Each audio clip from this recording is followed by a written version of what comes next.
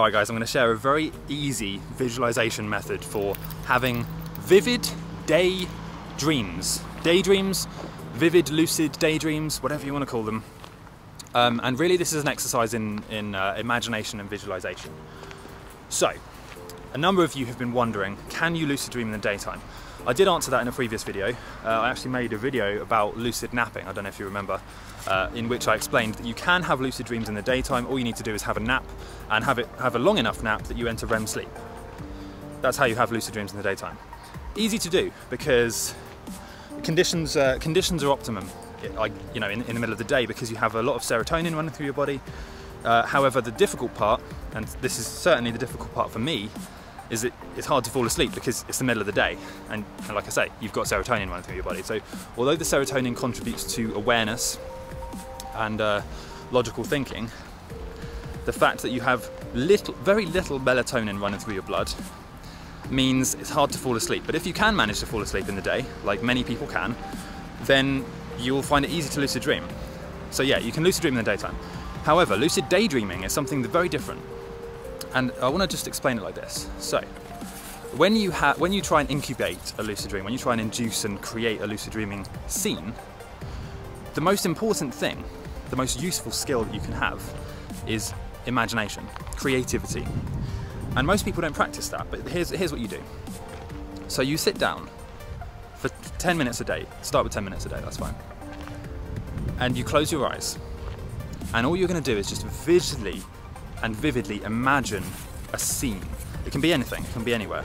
Start on a beach, that's, that's where I like to start, and then I turn back around and I look at the rest of the island and explore the trees and that sort of thing. But you can start anywhere really. It might even be easier to imagine somewhere you've already been, you know, like a city that you know well or something like that.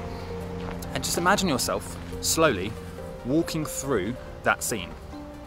That's all you're going to do at this point. You just imagine yourself slowly walking through the scene.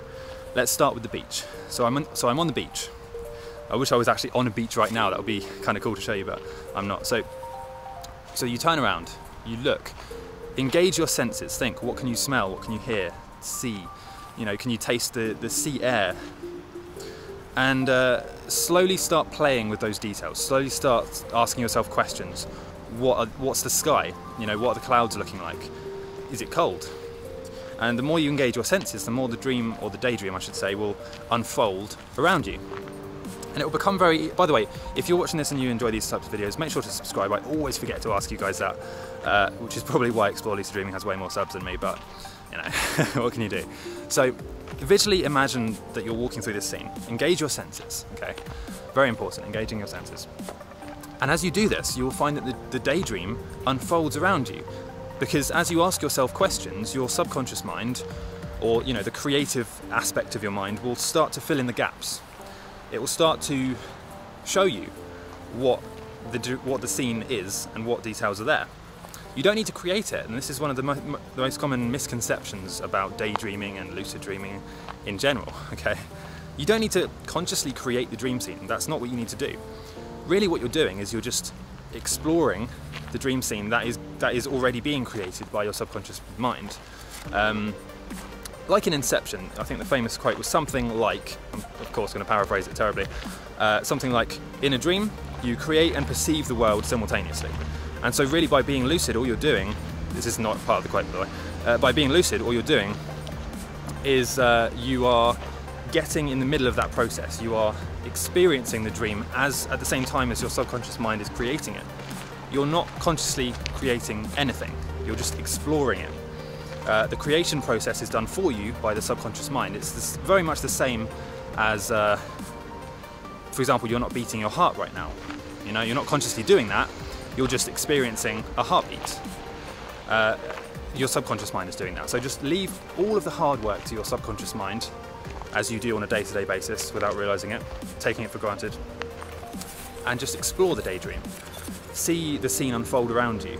And eventually you'll get so good at this that you'll be able to guide it in a certain way. You'll be able to think, uh, you'll be able to sort of tease your subconscious mind to create certain scenes and certain aspects of this daydream or lucid dream if you're doing this as a, a visually incubated lucid dream. Uh, which, by the way, there are loads of videos on these, these topics on my channel. Just go and check them out. And make sure to subscribe, leave a comment, that sort of thing. so I hope this helps, guys. You know, by, and by doing this, by practicing this um, visualization exercise, you'll find it much easier to do things like the wild, the visually in induced lucid dream. Uh, you'll find it easier to do the wild because you can sort of guide the guide your subconscious to create a certain dream scene in a certain way. And uh, yeah, it's a good way of being being more in control of the dream scene and what is in your, the content of your dreams, where you actually are, and what you're actually doing. So, hope you enjoyed this video, guys. See you next time. Leave a comment. Make sure you uh, you do hit that subscribe button and click the little bell. You know that little that funny little um, notification bell that all of the YouTubers are telling you to click. Basically, unless you click that, YouTube won't show you my videos. Damn, damn YouTube algorithm. Anyway, make sure you click that and uh, I'll see you next time. I'm going to keep walking aimlessly back and forward on this uh, little stretch of ground here until I've filmed, I don't know, let's say five more videos. I like it today. I'm feeling, feeling five videos. All right, leave a comment.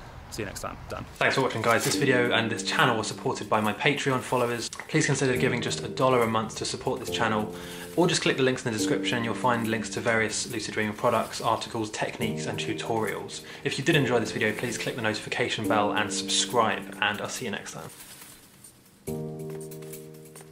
Why are you still watching this? You should have clicked one of my related videos by now, right? Or subscribed or gone onto my website or something like that.